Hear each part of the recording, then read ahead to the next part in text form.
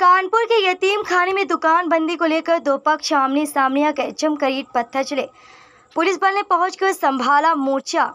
आपको बता दें, कानपुर के परेड चौराहे के पास यह हिंसक झड़प का मामला प्रकाश में आया है। जुमे की नमाज़ खत्म होने के बाद दो पक्ष आमने सामने आए, जिसके चलते जमकर पत्थरबाजी हुई। खास बात यह रही कि आज के दिन इस तरीके की अराजकता को अंजाम देने के पीछे आखिरकार क्या वजह हो सकती है?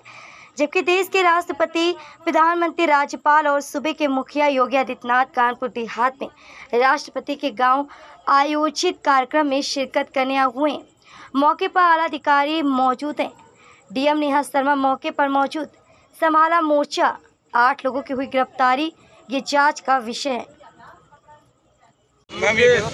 कैसे क्या हुआ तुम्हारे साथ? ये? आगे से हम रिक्शा लेके आ रहे थे, आधे घूमे चलने लगे। मेरे दो बार घूमे पड़े इस जगह पे। मैं कुछ बोला नहीं।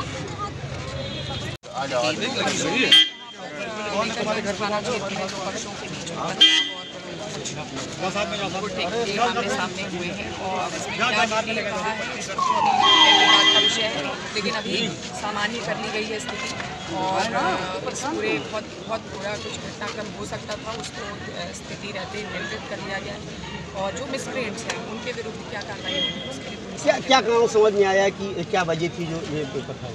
मोस्टली कोई कारण अभी एक्चुअली अभी इस इस पॉइंट पर मैं नहीं असेस कर पाऊँगी मैं नहीं कमेंट कर पाऊँगी लेकिन ये वाकई में निश्चित ही एक तहकीकात का विषय है कि टू सी कि क्या रीजंस रहे हैं इसमें घायल हुए कुछ या? कुछ लोग सुनने में आया है कि पत्थरबाजी हुई है कुछ चोटें हुई हैं